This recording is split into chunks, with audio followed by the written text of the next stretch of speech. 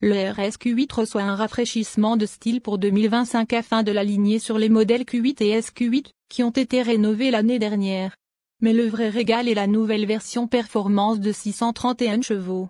Le modèle performance offre non seulement plus de puissance, mais il est également livré avec un différentiel central autobloquant, un système d'échappement spécialement réglé et une suspension unique qui utilise des moteurs électriques pour aider à stabiliser le RSQ8 dans les virages.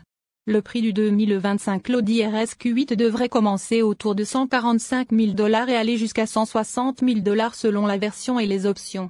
Le RSQ8 est proposé à un prix à 6 chiffres, mais ses performances, son style et ses fonctionnalités valent l'investissement, si vous appréciez les SUV chauffés à blanc, bien sûr. Tous les modèles RSQ8 sont équipés de séries d'un système de suspension pneumatique adaptative, de roues de 22 pouces, des sièges avant chauffants et refroidissants et d'un système stéréo Bang Olufsen à 17 haut-parleurs. Nous opterions pour la version performance haut de gamme pour débloquer la puissance nominale plus élevée de 631 chevaux. Lorsque vous dépensez ce genre d'argent, pourquoi ne pas aller jusqu'au bout? Le V8 biturbo de 4,0 litres de série du RSQ8 produit 591 chevaux et 590 livres-pieds de couple, comparativement aux 500 chevaux et 568 livres-pieds du SQ8. Le moteur du RSQ8 est associé à la transmission intégrale 4 roues et à une transmission automatique à 8 rapports, et il existe également un système hybride de 48 volts travaillant en coulisses pour améliorer l'efficacité énergétique.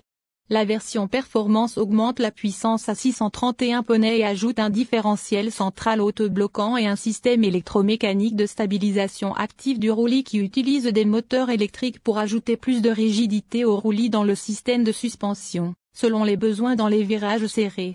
Lorsque nous avons testé le RSQ8, il a atteint 100 km par heure en seulement 3,2 secondes, seulement 0,1 seconde derrière l'Urus, 100 000 dollars plus cher.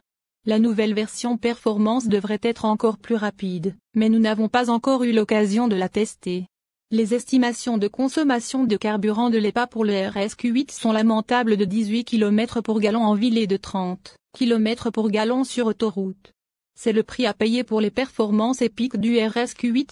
Le RSQ8 a cependant surpassé notre test d'économie de carburant sur autoroute à 120 km par heure dans le monde réel avec un résultat de 33 km pour gallon. Pour plus d'informations sur l'économie de carburant du RSQ8, visitez le site web de l'EPA. L'habitacle à 5 places du RSQ8 est essentiellement le même que celui du Q8, bien qu'il comporte des garnitures spéciales et des sièges avant plus sportifs et plus agressifs pour vous maintenir en place. Dans les virages. Il y a également des logos CRS disséminés partout. L'espace pour les passagers et le chargement restent inchangés par rapport au modèle Q8 standard ce qui signifie beaucoup d'espace pour les jambes et la tête pour les adultes dans les deux rangées de sièges. Lors de nos tests, le Q8 contenait 8 valises à main derrière sa banquette arrière et 23 là au total avec la banquette arrière rabattue. Le groupe de jauge numérique Audi Virtual Cockpit et l'interface MMI à double écran tactile disposent de certains écrans spécifiques ARS qui peuvent afficher des informations telles que comme le couple et la puissance de sortie, les temps autour et les forces G. En dehors de cela, le RSQ8 offre la même technologie que celle offerte dans le Q8, y compris l'intégration standard Apple CarPlay d'Android Auto, un point d'accès Wi-Fi 4G et LTE, la navigation et la radio par satellite SiriusXM. Audi propose plusieurs systèmes d'aide à la conduite sur le RS. En dessous, les Audi RSQ8 et RSQ8, Performance 2025 transmettent la puissance au roue via une boîte de vitesse Tiptronic à 8 rapports avec des changements de vitesse plus rapides, ainsi qu'un différentiel central et un système de transmission intégrale 4 roues permanent. La puissance est répartie à 40 sur 60 entre les roues avant et arrière, et en cas de patinage, jusqu'à 85% du couple circule vers l'arrière et pas plus de 70% vers l'avant, ce qui permet des virages plus précis, moins de sous-virages et des virages plus précis dans une suspension pneumatique adaptative réajustée gère l'amortissement et permet également une hauteur de caisse réglable jusqu'à 90 mm. Le freinage est stoppé par des freins à disque composite ventilés mesurant 420 mm à l'avant et 370 mm à l'arrière, tandis que la configuration à 10 pistons et les freins en céramique disponibles en option sont encore plus grands, 440 mm à l'avant et les mêmes 370 mm à l'arrière. Q8 de série comprenant un régulateur de vitesse adaptatif et une assistance au maintien de voie.